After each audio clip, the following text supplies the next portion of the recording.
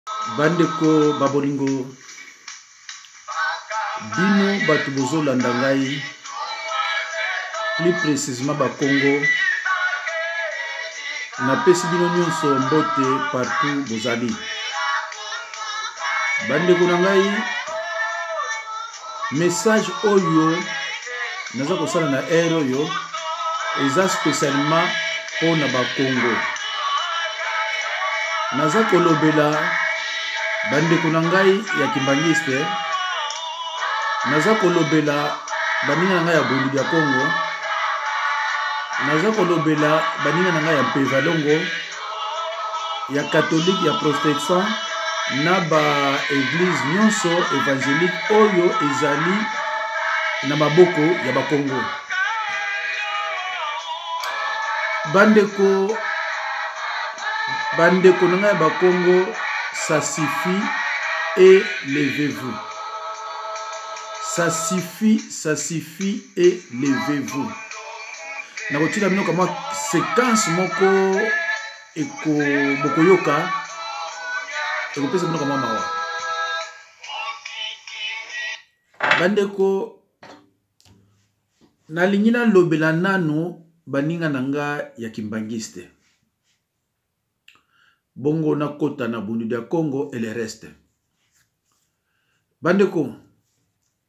tomoni baguvernema ya depuis 65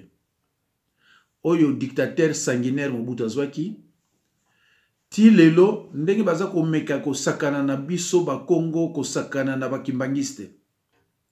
tomonaki mobutu le azali na pouvoir na ye azokende kosala bava evie na nkamba kokendeke batiaka ye loboko azwa puissance Laura Desire Kabila ye c'est pareil. Kanambe Hippolyte aye c'est pareil. Bayebi ke na nkamba puissance eza kuna. Blague te. Bazoki nozwaka yango kuna. soki bazwi yango tomona bawemba tomona leki na ngai oyo ngina mau namonaka leki na ngai ngina mau alekisaka bafoto nyonso alobi tala bakonzi wana ndenge bayaka kozwa lupemba awawa na nkamba me soki basi bazwi yango nde bakoya batournele bakongo meme eh, bakimbangiste bakozwa baposte te yango wana bandeko naleki awa mpo naloba na bino ke ça suffit mfumu kimbangu atika biso na bokabwani te mfumu kimbangu atikaka biso motu moko baeglize oyo ye kosalama baeglize oyo toye kolanda ekaboli biso omona moto ya bundu ya kongo alingi kutu kosantire moto evangelike te omona moto ya bundu ya kongo atelemi kuna azokritike kimbangiste omona moto akimbangisi atelemi kuna azokritike bundu ya congo omona bazokritike bapaster toza wapi bandeko toza wapi yango naye koleka lelo awa na association oyo tozosala association de bakongo nzila imosi tolongola nano makambo ya eglize eh, totya de kote na association oyo tozosala eza association ya bakongo eglise eza na kati te eza association culturelle association de bakongo soki oza mongala moswahili moluba koya awa te parce que association oyo eza uniquement mpona bakongo vous devez l'interpréter comme vous voulez ekochange nga eloko moko te alors bandeko na ngai ya kimbangiste loba na bato wana bayaka kozwa lupemba na, na kamba ça suffit esili lokola barekoneta ke puissance ya mfumu kimbangu eza kuna bayaka kolanda yango soki bazwi yango bake kosala mosala balingi bakongo te alors tolobi ça suffit ngai naza mokongo ngai aza mongoluwala mboka na ngai mboka ya mama eza kinanga malozi mboka ya papa eza yunga bana na ngai babotami na nzengita na tulankutu donc baoyo bayebi eh, je me suis présenté quand même bayebanga na nkombo ya ya nsemi oyo bayebi bayebi bayebi bayenga na nkombo ya nsemi nalingi okota mpenza kuna ndenge nyonso nakoloba te bandeko na ngai ya bundu ya congo boya na association oyo pa atanke moto ya bundu ya congo yaka atanke mokongo moto na ngai ya katolike koya awa te o oh, ngai naza moto ya katolike te yaka atanke mokongo kongo dia totila yo motu paster ya evangelique koya awa te o oh, ngai naza paster te awa tozoya atanke mokongo ini ndenge mfumu kimbangu atikaki biso tomonaki mbuta nzeza lando tomonaki mbuta eh, kingotolo tomonaki mbuta kasavubu tomonaki mbuta oyo babengi general ya bakongo eh, mbuta daniel kanza bato wana bazalaka na eh, eh, fumukimbango tokabwanaki te bazalaki motu moko yango omonaki abako eyaki soudain batindi lumumba aya kobebisa bako esimbaki te na 57 esimbi te asala boye asala boye le bakongo sont reste unis mobutu un homme malade aye kokuta bakongo bazali unis tozalaki bato ya kokabwana te et ero na pana biso bato maladi balaki te comme preuve avant 65 na lopo de ville bandako ya bakongo babanda kokanga wana fongola te parce que bamiyi balaki te na lopo de ville babanda koloba lingala te babanda koloba kikongo na français na rai so bakomi passage interdit na se batiaka nzila nsiku mpo na kolakisa bino ke eza mboka na biso ntango tozwaki indépendance il fallait république du congo bakoma ngo avec ka bako bamindele basali no oh non anatanda tokoma ngo avec se mpo epesa français mboka na biso alors lelo bandeko na ngai bainjustice bakongo baza kosubir eza neti biso moto tosengaka indépendance te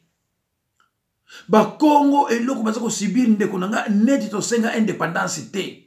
mundele alobaka ke nous nous sommes des crocodiles et que les restes sont des lézards un lézard akolia moseleke te akolia meme 150 sac ya fufu akoya monene te akokoma mpe neti crocodile te c'est ça bato les restes soki oza mokongo te les restes sont des lézards bakosala ndenge nyonso bakokokana na bakongo te yango na ozomona de 65 ti lelo de 60 ti lelo mokongo azala jamais premier ministre de 65 ti lelo mokongo azala jamais président le pays est plongé dans un trou profond, profond là où il y a la boue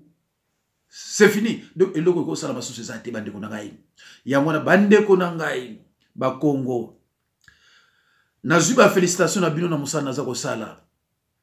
me nalingi naloba na bino eloko moko exemple moko ya bolingo ndenge ezalaka tozalaki na ndako tovandi na papa tomoni papa moko oyo babengaka bisingombe aye na ndako ntango ya ye alobi ngai nauti okobisa mwana na classe papa alobi oh, mais outi okomisa wapi mpo na bongolo abi me ngapi nakende kokobisa mwana kuna babi kende kuna leki no moto aza kuna toke na papa kaka ntango tozokoma na porte namona kaka prefet des, des études ayikoyamba papa aboti nga oh. azoka moleke moleke eh, moleke oh. bandeko namona bolingo moko nayebi te soki biso tokozonga so na bolingo ya marke wana bolingo nga namonaka ezalaka mpenza o papa simo kimbangu atika yango wana namonaki prefet des études yango ndeko ezaka nani ezaka mbuta diatantu honore bayambani na papa fumu diatantu apesaka mbongo apesaka balivre apesi papier abiki nokotala classe ndeko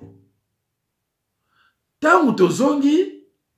mokolo mosusu namoni papa wana yesu na ndako natuni bango ngabi oh papa me bino bomemaki ngai na ekole wana mpa ya mbuta diatante honore namoni diatante honore azosepela ondire soki amoni ete nani abi me leki na ngai ngabi oh me leki no ya ndenge nini yaza mosingombe yoza manianga alobi eh bana boyebi histoire te abi bisingombe ezalaka ekolo te bisingombe eza ekolo te bisingombe bazali bamaniango oyo babandaki kokende kobokola bangombe ntango bazokende kobokola bangombe bazoya tozoswanaka na bango tozosekaka tozobenga bango bisi ngombe balingaki kobokola bangombe tro yango monaka koma ngombe eza na kati toza motu moko oh. bana mbokola ngombe eh, bana mbokola bangombe ale ntango bamoni ke kwenda vutuka kwenda vutuka ale bafanda na bango mpe kuna sikoyo donc bisingombe ezali ekolo te ah. tosonda motu moko boye aza moto ya kimbangisi natuni papa kim, papa fumu kimbangu aza ekolo nini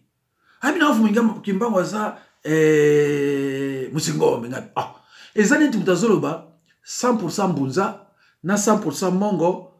mwana babimi abimi ngwaka ça n'a pas de sens mais ça n'a pas de sens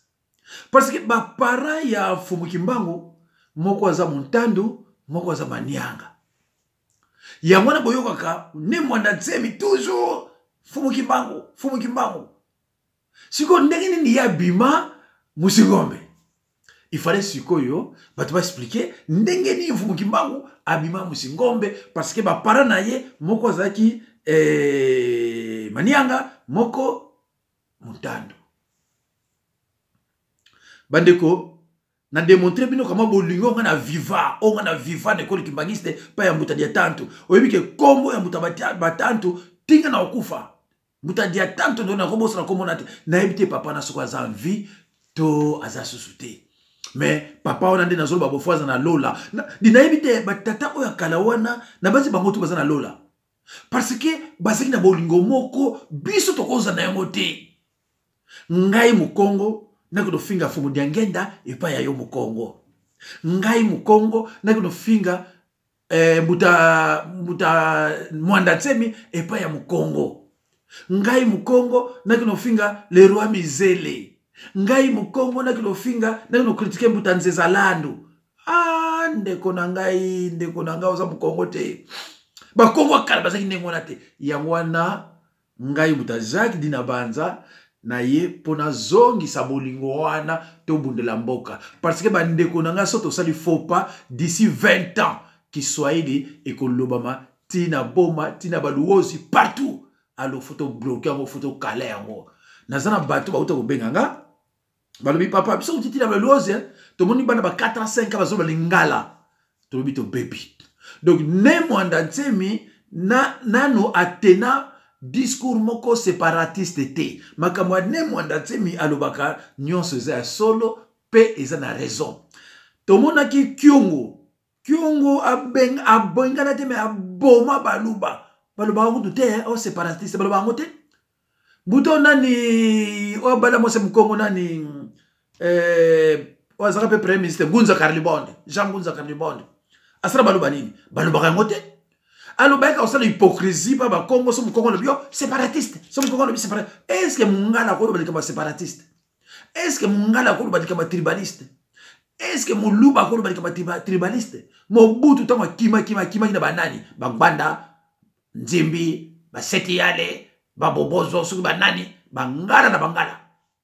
e armée ezalaki na banani ditrek ezalaki na banani oyo oyo soki dsp ezalaki ya banani tolongo wana toki na idps botala gouvernement ya nani ya ya nani oyo chilombo eya banani na banani 98 pourcent bao na bao botala chibala ntango batye ye premier ministre gouvernement na ye nyonso ezalaki ya banani tala tala badibanga moto oyo aremplaçaka premier ministre oyo ya, ya, ya, ya, ya, ya mobange oyo nani soki nkombo nde nani eh, oyo aremplaçaka ye soki mwana nkasi na ye wana gouvernement na ye bato bandundu na bato bandundu soki kopa bakongo mokongo ndenge ba ah, eh, tribaliste tribaliste kasi baparti nyonso yaka tribaliste bino oyebi yango te bandeko na ngai tozosala association nkombo na yango association de bakongo nzila nzilai mosi cotisation eza na diero so tosilisi tokopesa bino biloko nyonso c'est pour cela ndeko na ngai kozala na idée te a ah, te basalaka boye kokosa te biso tolobi tozala na boyokani toza na besoin kutu te motaya koloba ko bakolia mbongo to basala boye te ngai nakosimba basheke te nazosala appel na basi ya bantando na basi ya bisingombe na bazombo na bambata na banani babenga nga tokosala shwa tozwa basi misato oyo peut-être parmi bango babandomo basheke na carte bleu biso baoyo soki toza na droit ya signature me tomona na biso sheke te sheke avant ebima il faut mpenza komite ye efandi sheke ebimi ekobima pampamba te yo soki oza na parti na yo mosusu wana ezoluka mbongo to nini etali yo bandeko na ngai ningolo baso likambo mosusu tomoni balider oyo bazobundela bakongo baza mibale baza ne mwanda tsemi na justine kasavubu justine kasavubu azotambola ye moko moto akosoutenir ye financièrement aza te tata na ye azalaki ne moto ya mbongo te ayiba na ye te asombela mpe bana bandako bakoteka eza te tozomona mwanda nsemi bakanga ye toyebi te mpe azali mbongo eza te tokoki kozwa mpe avoka baavoka internationaux bayali me toza na droit wana te mpo toza na rien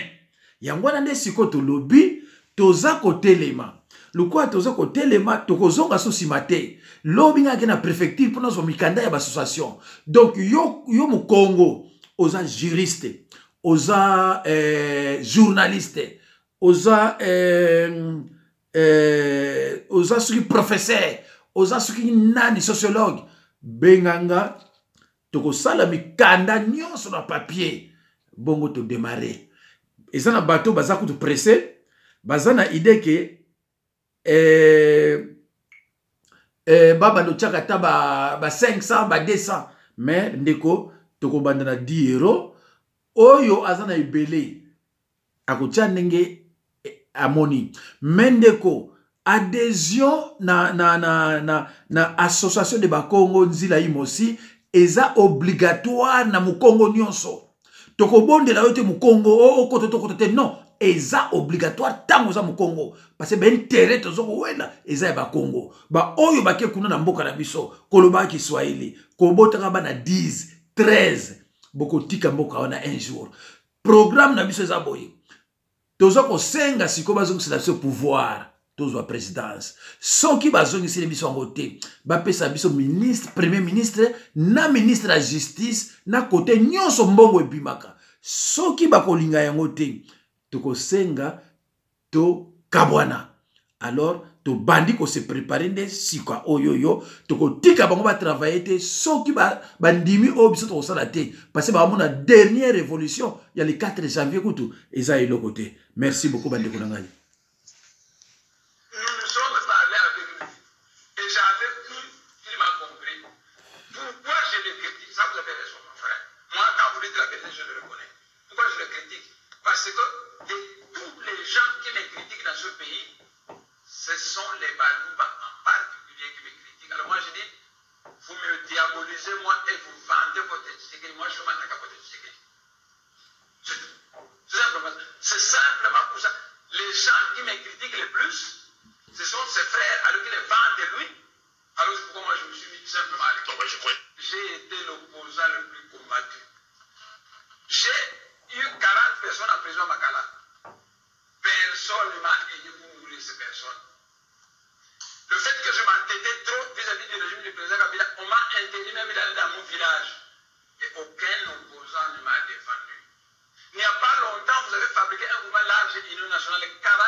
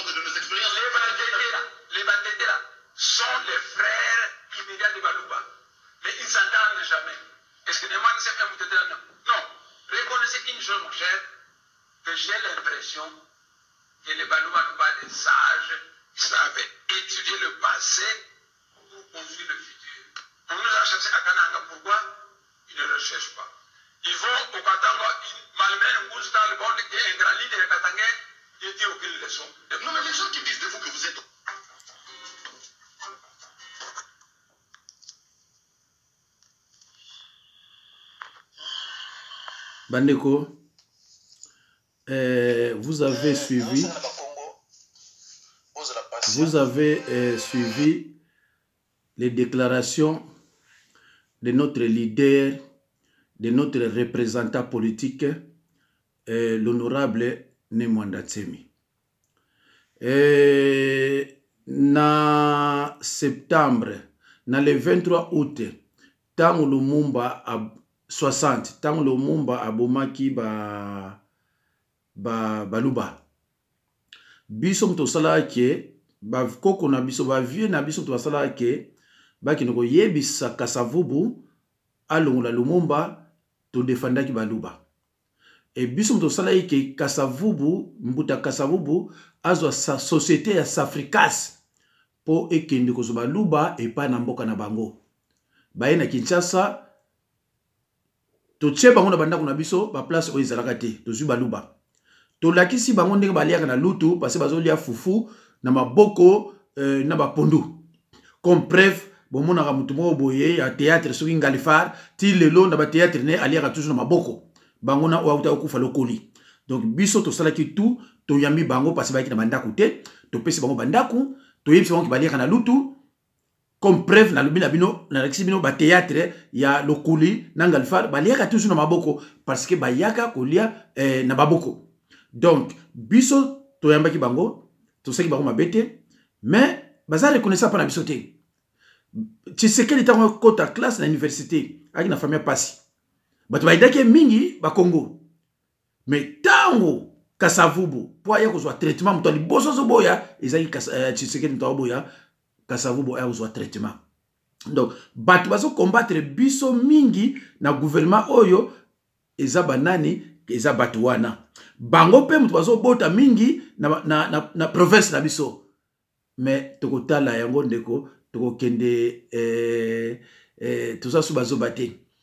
ndenge bamosusu batikaki bulubumbasi bakotika mpe bakongo tozokende malembe malembe mokongo akende na makambo malembe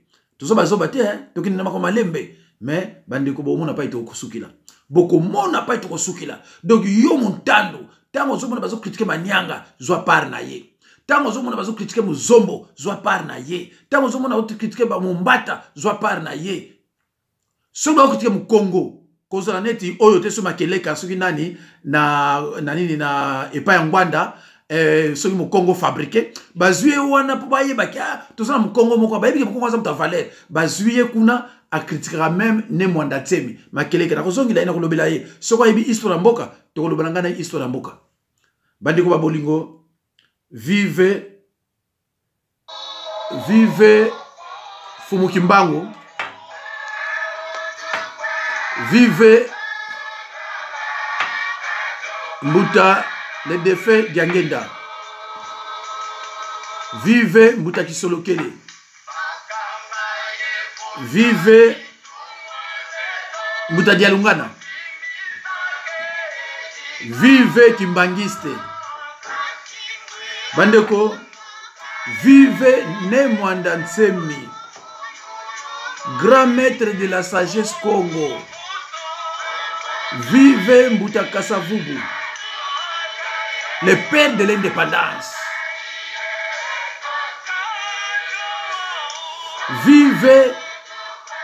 le roi mizele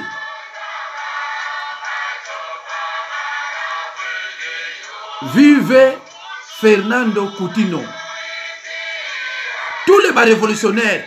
bawuta kaka na linie ya fumuki mbangu na nga moko mpe nazali awa nawuta na linie ya, ya, ya fumuki mbangu yango namoni ntango nabondelaka naosala imposition de mai bato bazobika parce que puissance ewuta mpa ya nzambe ekiti mpa fumuki mbangu ezokita ti mpa ya biso nyonso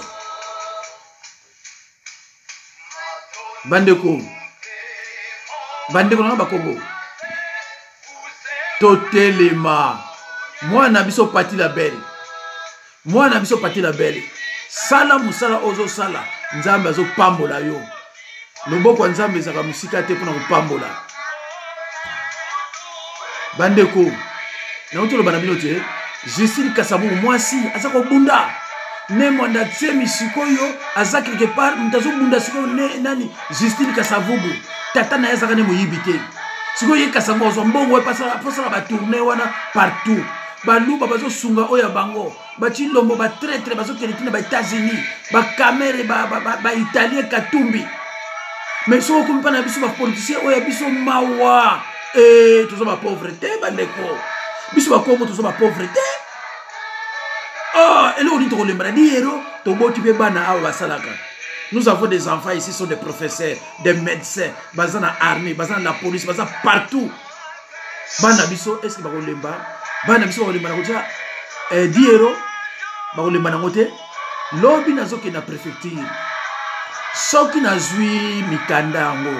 je vais contacter bato ya bruxelles bato ya hollande bato ya états-unis nazwi banimero na bango te me nalobi na bino bamama bobengaka deja bapapa